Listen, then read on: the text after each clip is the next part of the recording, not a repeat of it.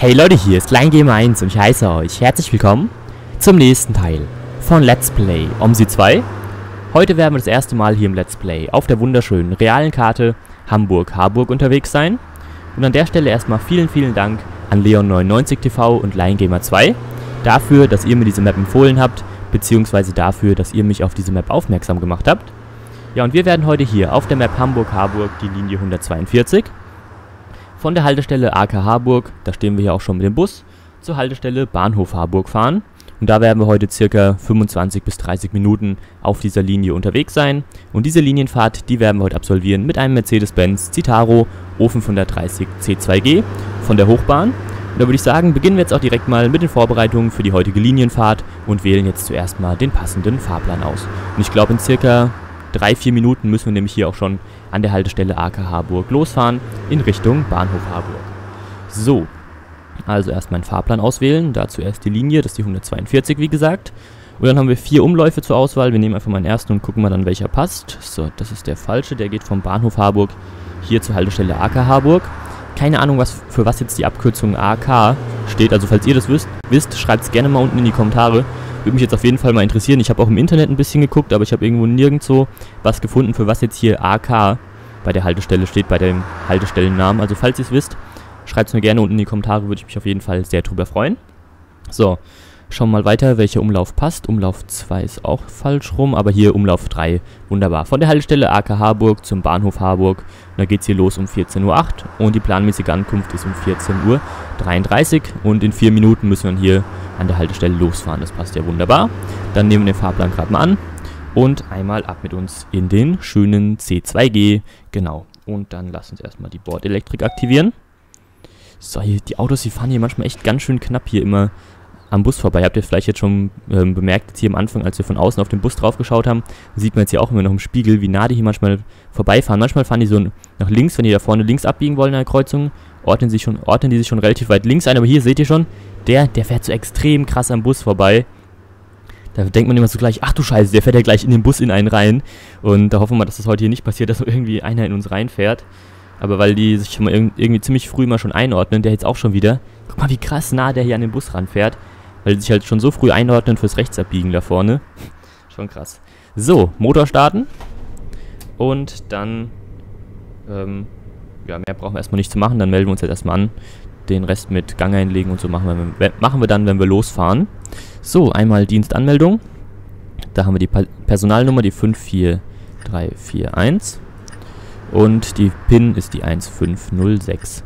Was wir machen können, ist ja mal der Blinker setzen, genau damit die Autos wissen, dass wir hier stehen bleiben. So, 14.05 Uhr und 30 Sekunden, 30 Sekunden, also noch zweieinhalb Minuten, dann geht's los. Das reicht ja auf jeden Fall aus. Und es stehen aber auch schon einige Fahrgäste hier an der Haltestelle. Mal gucken, wie viele heute so allgemein mitfahren werden. Und ähm, ja, ich habe ja wie gesagt einen Gelenkbus gewählt, weil ich glaube schon, dass es heute relativ viele Fahrgäste sind, weil ich habe mich schon mal so ein bisschen umgeschaut und so, wie das so aussieht, wie viele Fahrgäste hier mitfahren. Ein bisschen bin ich auch schon mal über die Map gefahren. Und ähm, genau, da war es schon so, dass da relativ viele Fahrgäste dabei waren. Deswegen habe ich heute auch mal hier einen Gelenkbus ausgewählt. Mal gucken, ob der auch richtig voll heute wird oder ob der relativ leer bleibt. So, die Fahrgäste kommen vorgelaufen, wunderbar, noch 2 Minuten 10 Sekunden, dann geht's los. Hier seht ihr den Fahrplan. Keine Ahnung, wie viele Haltestellen das genau sind, sind aber schon ein paar. Genau, wir sind ja circa eine halbe Stunde unterwegs. Da ist so diese Haltestellenanzahl so ungefähr die, die man auf den meisten Maps hat, wenn man eine halbe Stunde unterwegs ist. Außer man fährt halt viel Landstraße oder so. Guten Tag, Guten Tag hallo.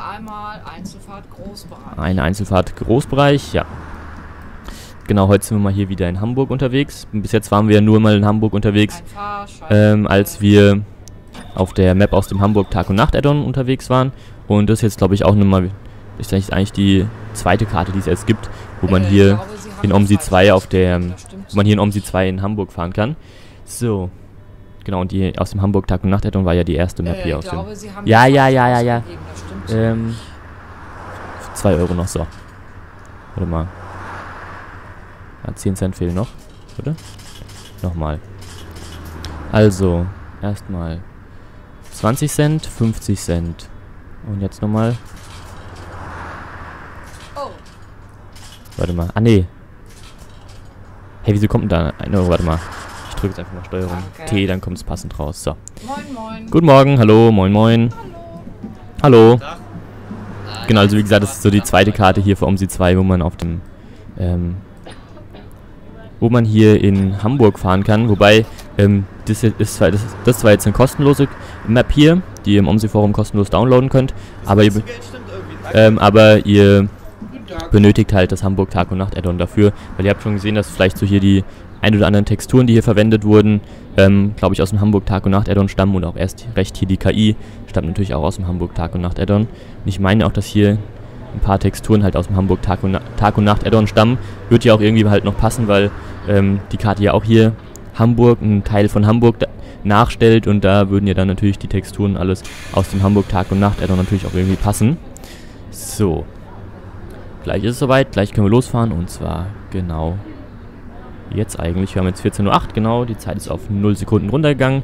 Wir blinken links, legen den Vorwärtsgang ein, Feststellbremse lösen.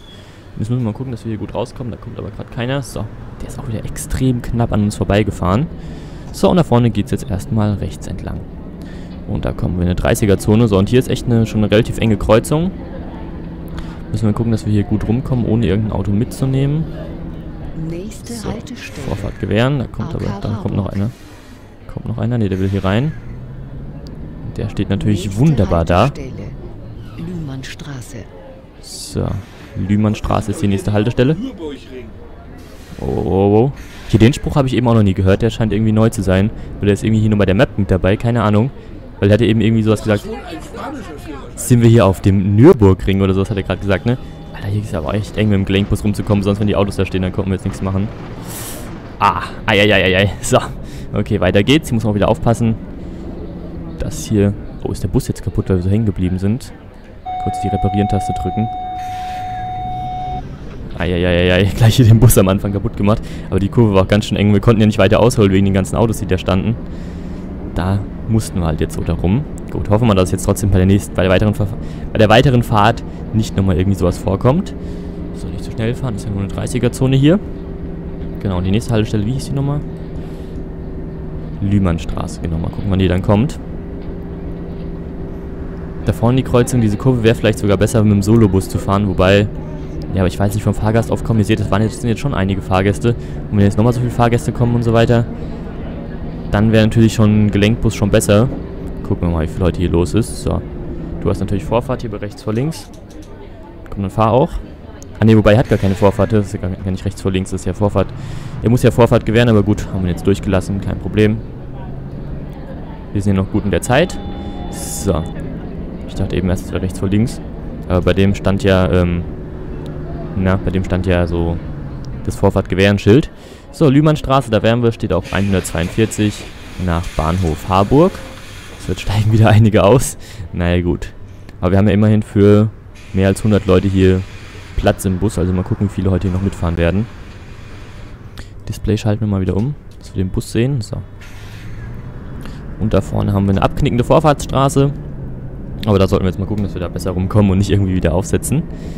So, also. Müssen wir, gucken, müssen wir mal gucken, dass da jetzt keine Autos kommen. Dann können wir auch ein bisschen auf die Gegenfahrbahn ausweichen. Aber ihr seht, es ist schon einiges los hier. Einige Autos sind hier unterwegs. Nächste Haltestelle. Ich würde gerne, dass der da rumfährt. Wobei, wenn wir jetzt einlenken, der fährt weg. So, dann können wir jetzt ein bisschen mehr geradeaus fahren. Und die auf die Gegenfahrbahn nicht, dann müssen wir nicht allzu viel über den Bordstein. So, wunderbar, schon besser um die Kurve gefahren. Und da vorne ist die nächste Haltestelle. Und da warten auch wieder ein paar mehr Leute. So. Blinker einmal setzen und anhalten. Ich weiß gar nicht, diese Blumen, ob die aus dem Hamburg Tag und Nacht Addon sind, weil die habe ich bis jetzt noch nie irgendwo anders mal gesehen. Moin. Moin, guten Morgen, hallo. Hallo. Guten Tag, hallo, moin moin. Keine Ahnung, ob die aus dem Hamburg Tag- und Nacht-Addon sind. Ich weiß es gar nicht genau. Also auf jeden Fall steht im OMSI-Forum, dass es Hamburg Tag- und Nacht-Addon... Aber guck mal, das ist doch jetzt rechts vor links, oder? Zumindest hat der hier kein Vorfahrt-Gewehrenschild. Na, wenn er stehen bleibt, dann fahren wir mal vor. Dankeschön. Vielleicht hat er, glaube ich, Vorfahrt gehabt. Zumindest habe ich jetzt halt da kein Vorfahrt-Gewehrenschild bei ihm gesehen. So, sie haben unerlaubterweise vom Unfallort entfernt.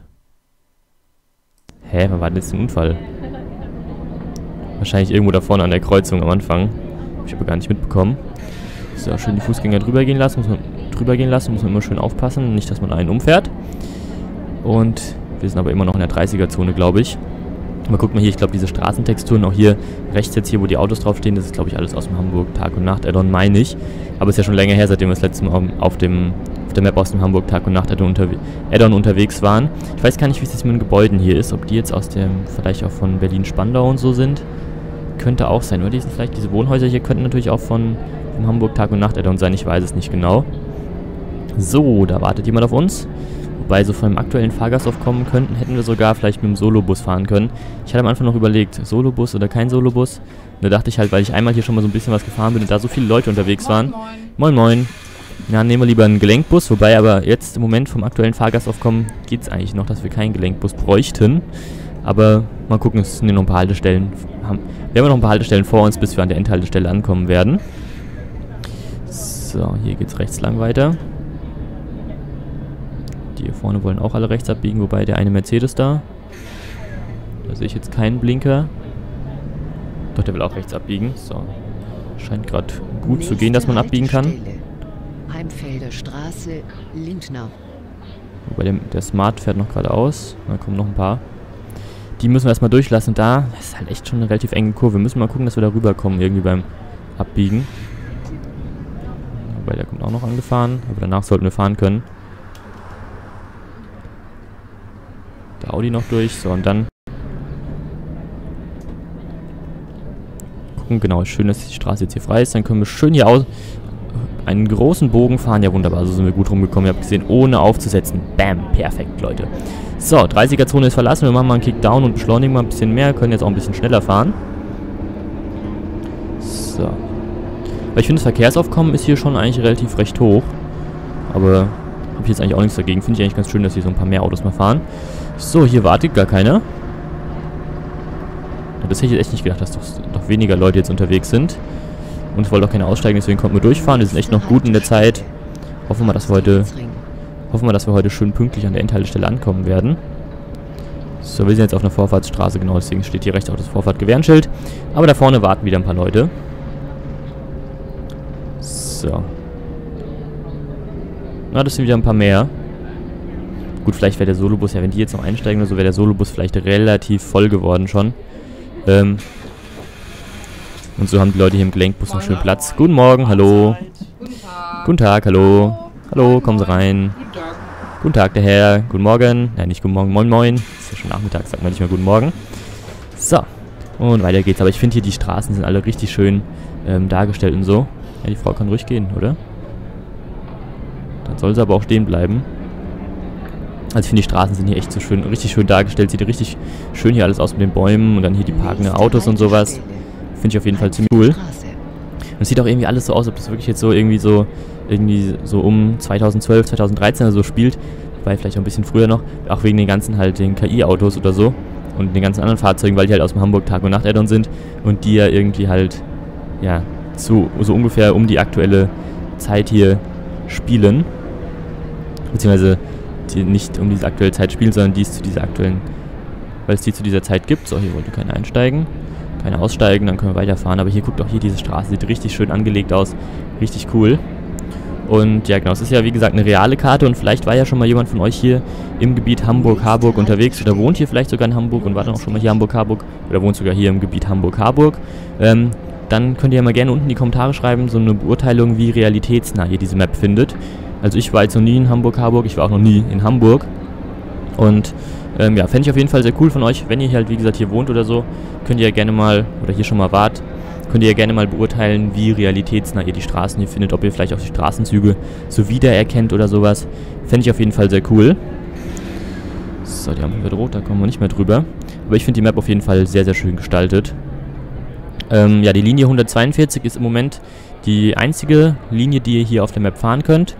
Ich habe jetzt übrigens die Version 1.1 von dieser Map hier und ist auch die aktuellste Version zur Zeit, wo ich das hier aufnehme. Und ähm, genau, da gibt es bis jetzt nur die eine Linie, die 142, halt von AK Harburg zum Bahnhof Harburg oder halt in die andere Richtung. Und ähm, ja, wenn ich es richtig verstanden habe, ist es aber so, dass der ähm, Erbauer von dieser Map noch an der Map weiterarbeitet und diese Map halt noch erweitern will. Ich weiß nicht, ob die Linie 142 jetzt hier komplett nachgestellt ist oder ob das nur ein Teil der 142 ist. Ähm, also dass er vielleicht, wenn die 142 nicht komplett nachgestellt ist, dass er die 142 noch erweitert. Und, ähm, aber wenn, ich es auch richtig verstanden habe, soll es später noch weitere Versionen von der Map geben, wo halt dann auch ähm, noch weitere Linien hier aus dem Gebiet Hamburg-Harburg hier nachgestellt werden. Da sind so ein paar auf dem, in dem, in dem OMSI-Forum auf der ähm, Seite bei dem Beitrag von der Map da verlinkt. Ne, nicht verlinkt, sondern angegeben, genau. Ich weiß nicht mehr ganz genau, welche das jetzt waren. Ich glaube, eine Metrobuslinie war sogar auch dabei, Metrobus 19 oder sowas, glaube ich.